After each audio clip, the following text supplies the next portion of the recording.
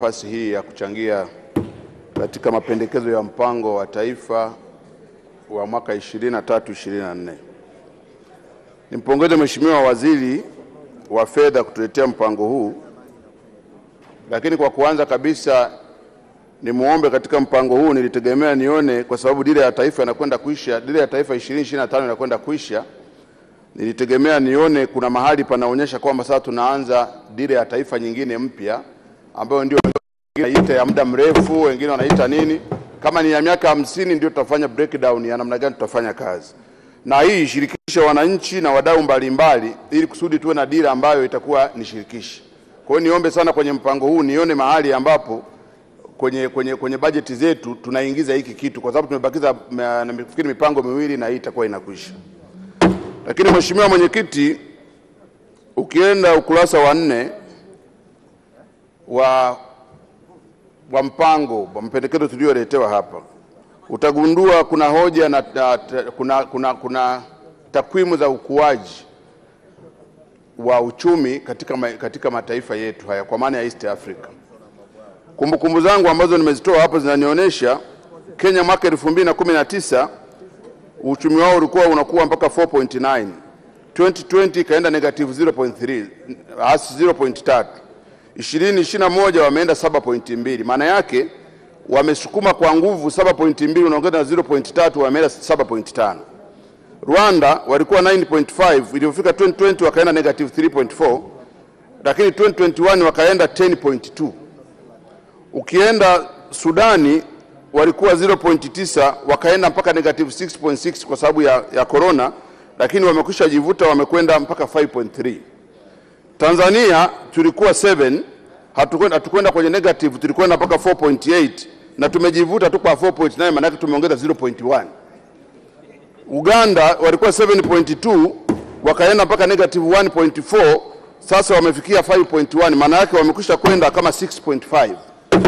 Burundi walikuwa 1.8 wakashuka mpaka 0.3, sasa wamekwenda 2.4, maana yake wameenda 2.7.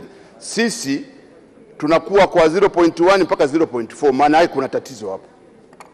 Niwaunge mkono ndugu yangu jirani yangu hapa Mwijage wanaposema tuwe na tume ya mipango. Jana Ndungulile alisema tume ya mipango, maana yake hatujagusa mahali ambapo uchumi wetu unaweza kuchangamka. Tunagusa lakini tunagusa kwa ukua kwa 0.1, maana yake data haziwezi kudanganya. Ukuaji wetu ni mdogo kulinganisha na nchi zote za East Africa.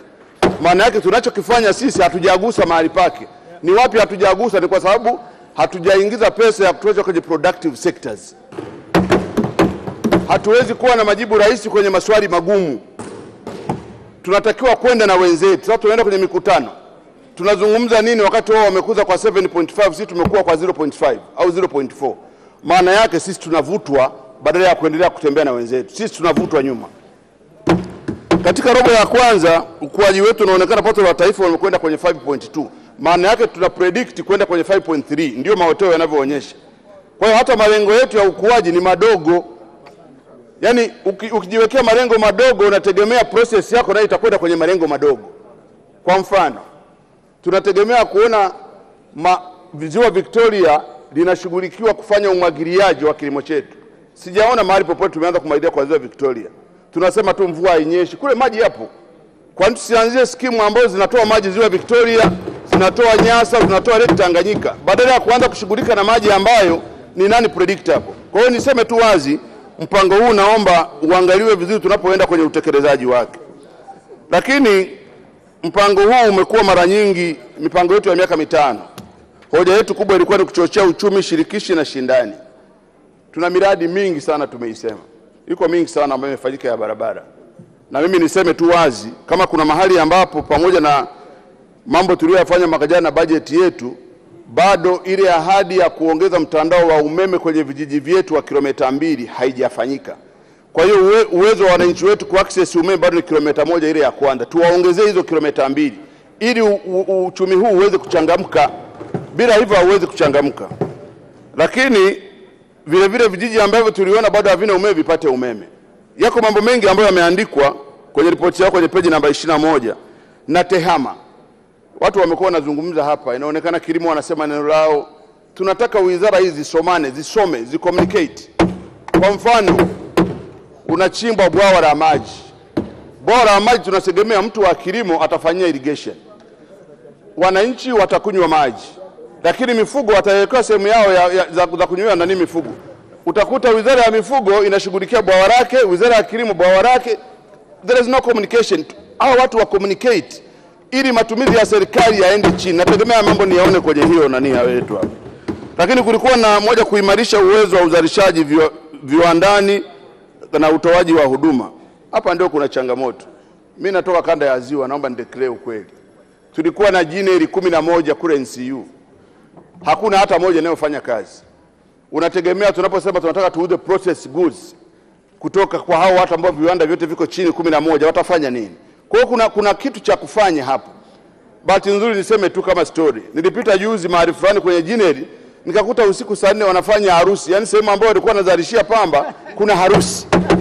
Na watu wanastarehe. Yaani inaonekana kabisa tumekusha toka kwenye reli, tuko mahali pengine, turudi kwenye reli sasa, kwamba at least huko tunakotoka kwa jineri kumi na moja walau tatu zifanye kazi, tuwe na mambo ambayo sasa yanaonekana tunaweza kujenga uchumi wetu. Lakini najua kengele ya kwanza nimeisikia imelia, niseme wazi kwenye production sector, wenzetu wa Waganda, nilikuwa namsikia ndugu yangu hapa, hata ukisafu, ukisafu kwenye, kwenye internet utagundua kwamba wao kwenye dairy export yao wana, wana dola milioni mia mbili kama na ishirini ambayo ni milioni mia tano wana export kwa, kwa mwaka mmoja.